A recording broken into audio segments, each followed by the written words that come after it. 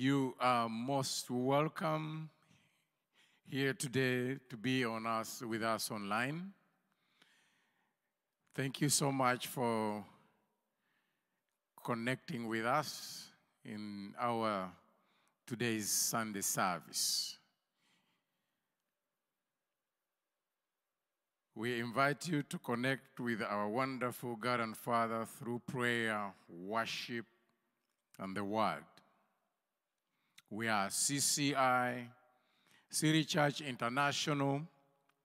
We are a Kahiu generation, a powerful force of God manifesting His love and will on earth. We are expanding this year, 2020, together with the Holy Spirit. Let us pray. Heavenly Father, we want to thank you for this day. We thank you that we are in your presence by your grace.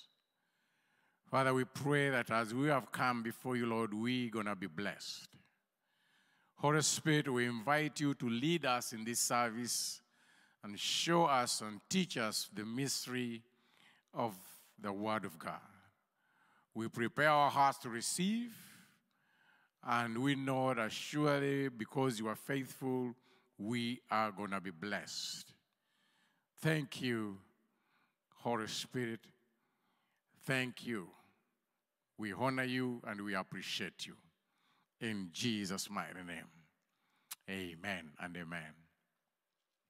Now let us worship our wonderful Father.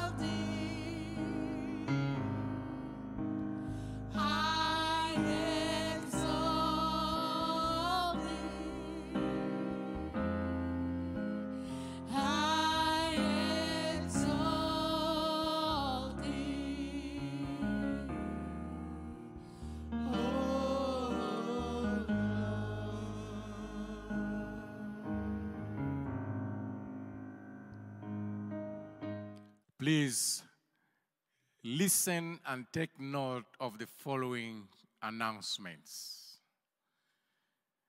Prayer request. Please, we would like to hear from you. And uh, if you have any prayer requests, please send your prayer request to the email address below. The Love Encounter broadcast with Pastor Wilberforce is, is, is live on our YouTube channel. Every weekday from Monday to Friday at 20 hours. Our daily devotion, please send a message to either options that are shown on the screen to start receiving CCI daily messages by Pastor Wilberforce.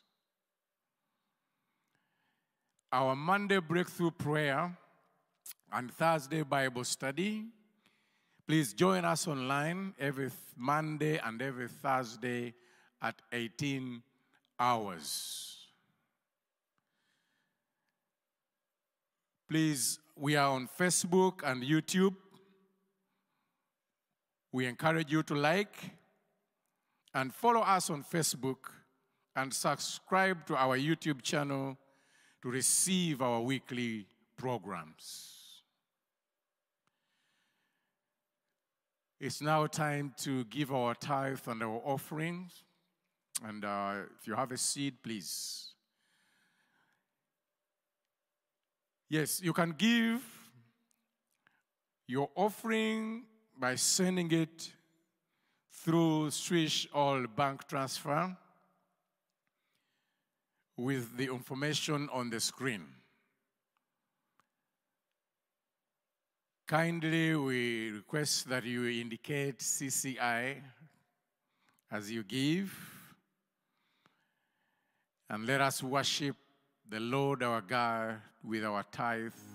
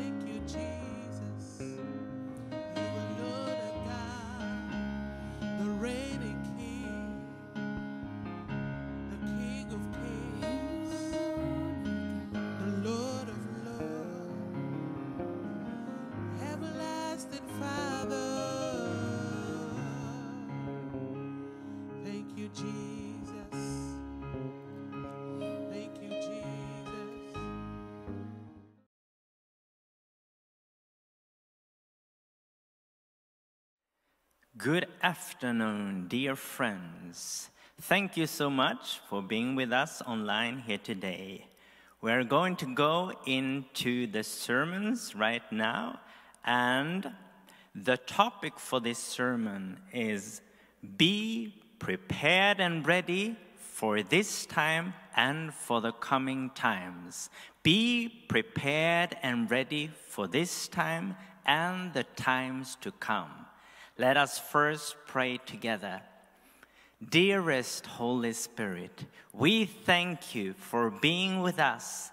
Thank you that you are our dearest helper. Thank you for leading us and guiding us into the whole truth. Thank you for revealing the truth to us. And we would like you to really give us the understanding today as we go into your word. Thank you for your word, oh God, your powerful word. Thank you that your word is alive. Thank you that your word speaks to us personally. Thank you that we will be able to go deeper into your word today and that we will also be able to apply these words in our lives. Thank you for this time of preparation. Thank you for preparing us, each and every one of us, in this time and the times to come. We give you all the praise, all the glory for your work. We praise you, we honor you in the mighty name of Jesus Christ. We pray. Amen. I thank God for reminding me about the importance of not despising the small beginning. Therefore, sow knowing that it will grow and bear good fruit. It is possible for us to influence, impact the world around us despite of what is happening. In the school where I'm working, I see students work despite of what has been said about them. Some students they have heard you have a lot of capacity, but you're just lazy. You're just playing around. And of course, it affects them. And I'm so happy to see when I'm assisting them, when I'm teaching these students in school, that they are growing. They grow in knowledge, they grow in understanding, and they grow in wisdom. It is a hard work, but it's all worth it when you see and know that they are developing. And we need to give this next generation hope for the future. We need to speak hope for them, hope to them. We need to say, as Pastor Godfrey taught this Thursday, that you are important. You are important. So, all of you who are listening, watching today, all of you youth, you need to know that each and every one of you are important. Amen. God's plan for you is to give you a future and a hope. God's plan for you is to give you a future and a hope.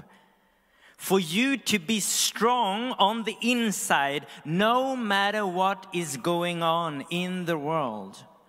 Hope concerning where to spend eternity, eternal life with God.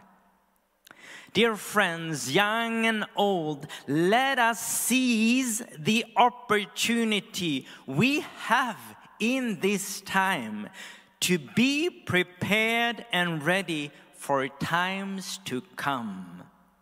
There is certainly an opportunity for the church, for CCI, including you and I, to allow God to work in our lives. There is an opportunity for us to dwell in the secret place of the Most High.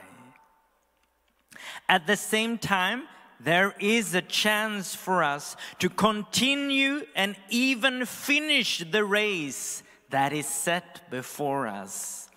We don't know when, but through the preparation, we will serve God and finish the race well. I say it again. Through the preparation, we will serve God and finish the race well. Amen. Let us see what the Word of God is saying about this. We read from 2 Timothy chapter 4, verse 1 to 8. I charge you, therefore, before God and the Lord Jesus Christ, who will judge the living and the dead at his appearing and his kingdom. Preach the word. Be ready in season and out of season. Convince, rebuke, exhort with all long suffering and teaching.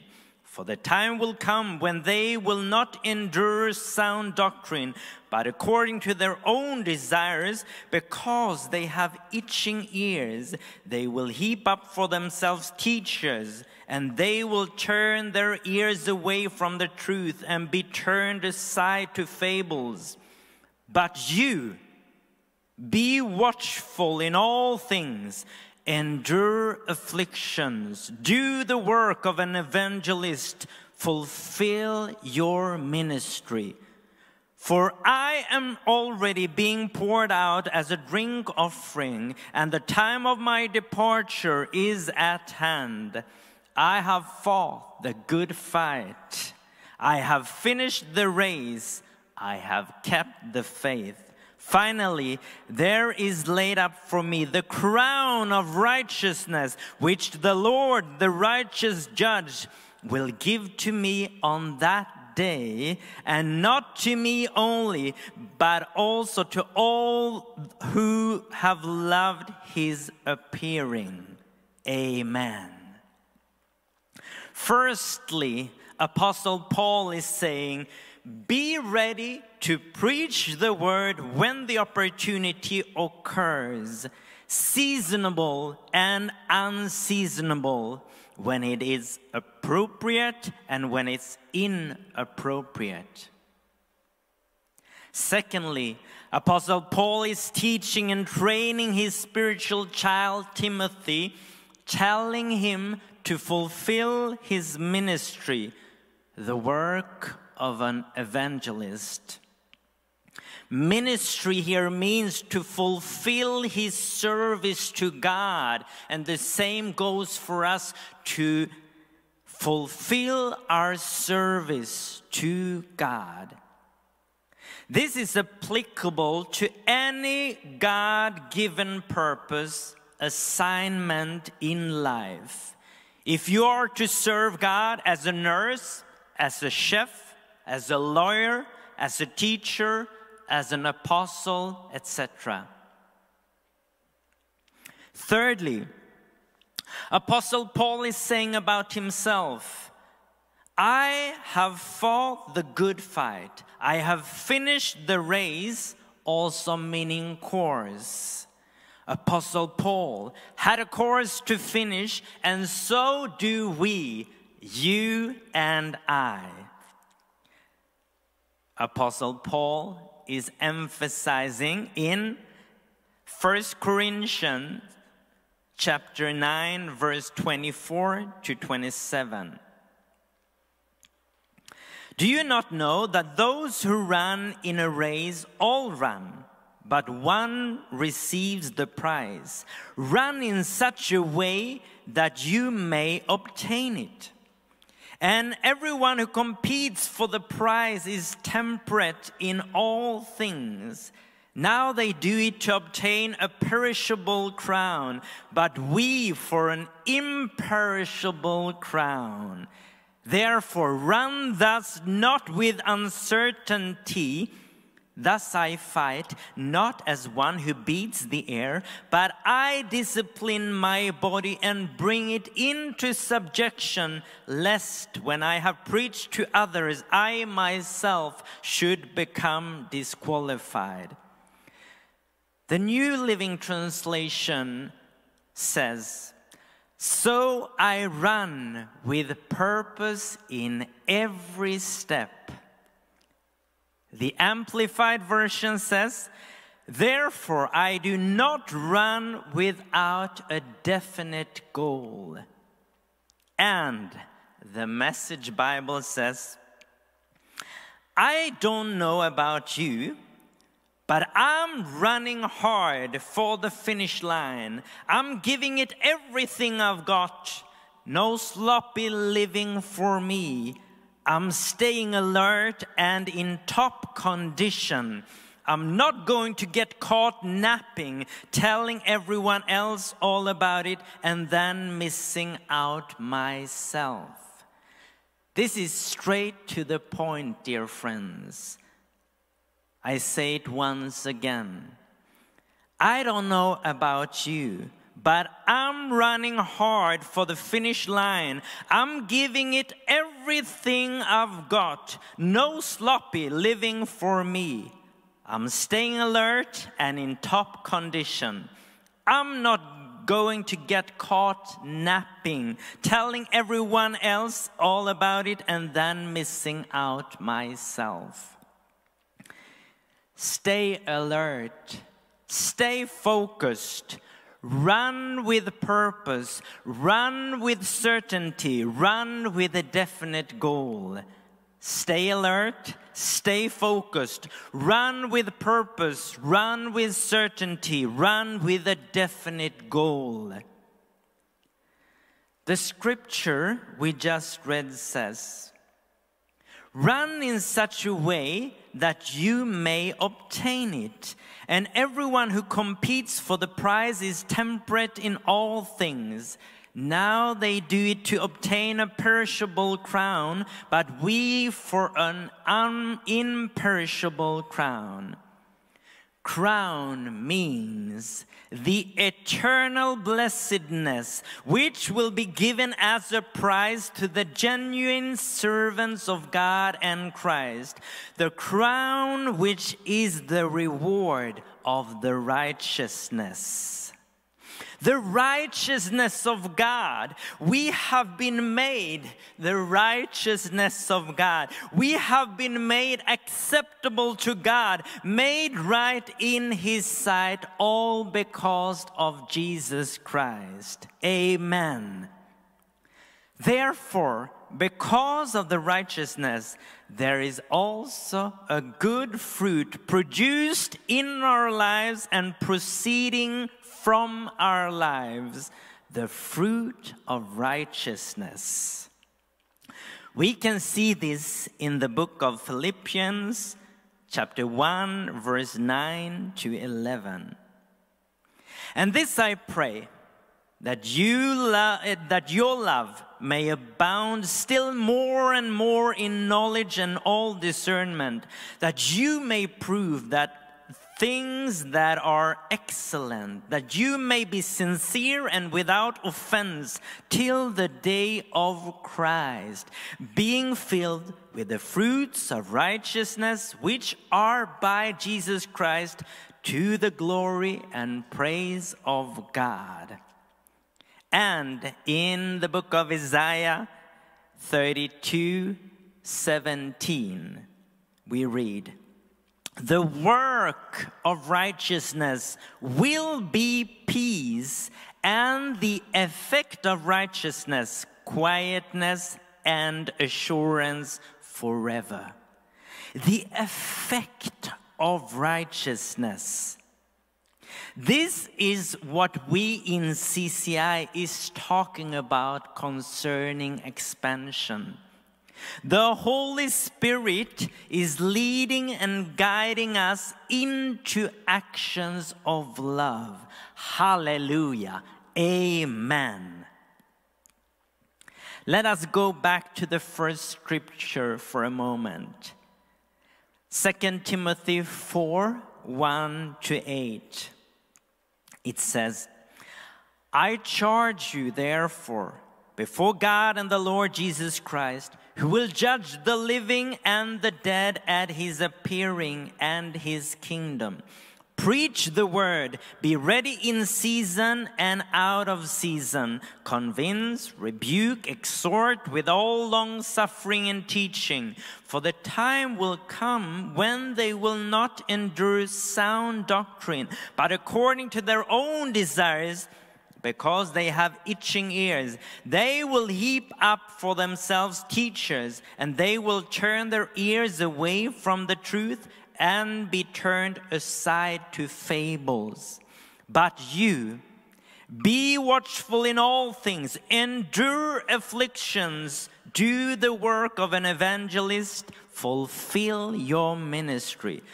For I am already being poured out as a drink offering, and the time of my departure is at hand. I have fought the good fight, I have finished the race, I have kept the faith.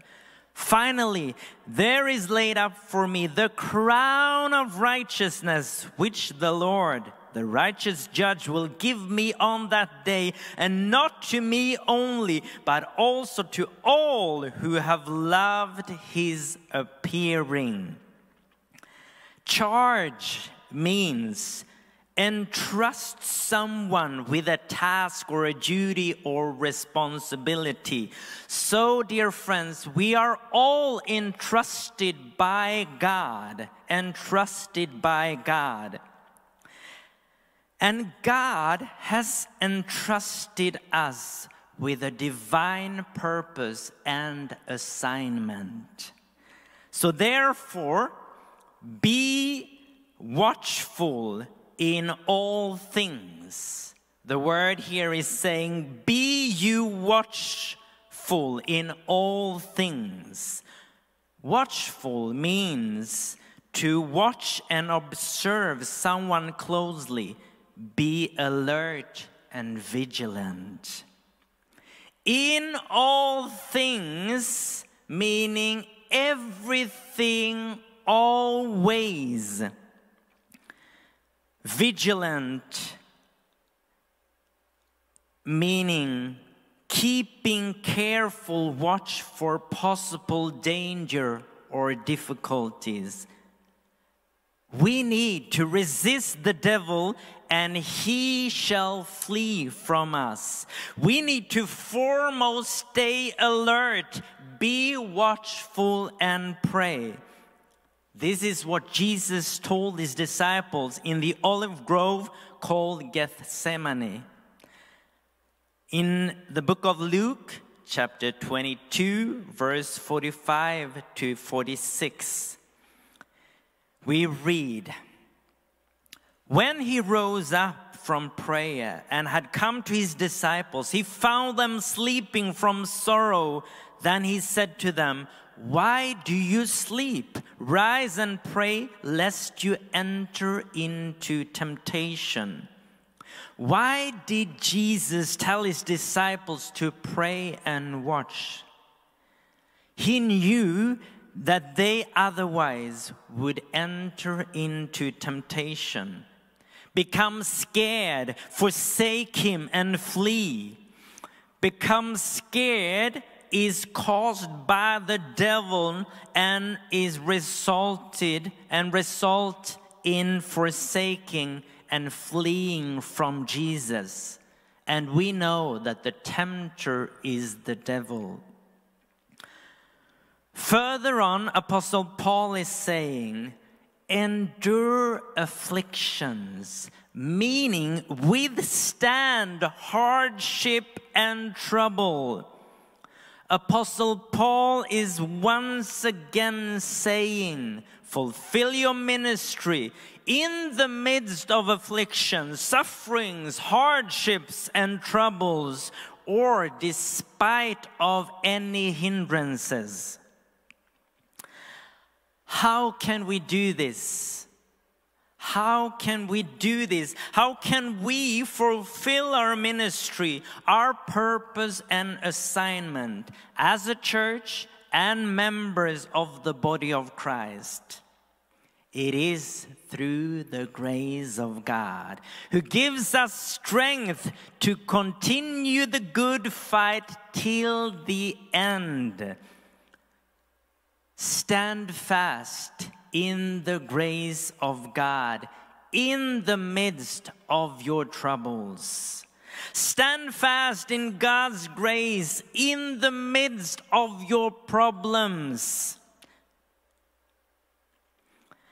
Let's read from 2 Corinthians chapter 12 verse 9 to 10. And he said to me, my grace is sufficient for you, for my strength is made perfect in weakness. Therefore, most gladly, I will rather boast in my infirmities, that the power of Christ may rest upon me. Therefore, I take pleasure in infirmities, in reproaches, in needs, in persecutions, in distresses for Christ's sake. For when I am weak, then I am strong. God's grace is sufficient for us, is sufficient for you and I. His strength his strength is made perfect in weakness. Paul states, I have fought the good fight, I have finished the race, I have kept the faith. May we be able to say the same. I have fought the good fight. I have finished the race. I have kept the faith. Maybe you experience hardship right now. No matter when we experience hardship, we need to depend on the grace of God. And when we do depend on the grace of God, His strength and power, we will be able to finish the race no matter what comes our way. Then we will be prepared and ready. Dear friends, thank you so much for being with us on this journey. Tomorrow, in the Monday Breakthrough Prayer, we shall continue to look into this last scripture concerning infirmities. So then we have something to look forward to. And in this preparation, we thank God that for everything that is taking place in City Church Stockholm now and in the future. We are excited to see the expansion of God in this place where we are being prepared and ready for His plan, His purpose, and His will. We thank you all who has been giving into this renovation. Thank you so, so much for continuously sowing into the renovation, giving your resources and your time. Thank you so much for being here yesterday for the clearing out of the main hall we are now prepared for the builders to come in and let us pray for them as they do a work in here. And at the same time, we should also respect that this now is a construction place for a couple of months. So let us pray together. We thank you, dearest Holy Spirit. You are the one preparing us, you are the one making us ready for what is going to come. Thank you that you are in control. You know everything about us. You know everything what will take place in the future. Thank you for preparing us individually and as a church. Thank you for preparing this place. And we are looking forward to see what is going to take place in this very place. And now we're thanking you also for these workers that is coming in, the builders. We bless them and we bless the works of their hands. And we thank you that we will be able to meet here again in the future, in this place. And this place will be a fresh place, a wonderful place where people will come. They will be hungry for you, oh God. And we will receive these people with open arms because we are prepared and we are ready to put action and embrace them with love and honor. We thank you, dearest Heavenly Father, for everything, everything you're doing in our lives. We give you all the praise, all the glory, and all the honor. In the mighty name of Jesus Christ. Amen. Uh, thank you so much for being with us today.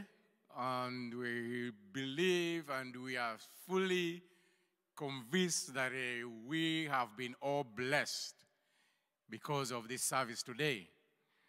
And um, please let us meet again during uh, the week in our Monday prayer and Thursday Bible studies and uh, our Sunday service next Sunday.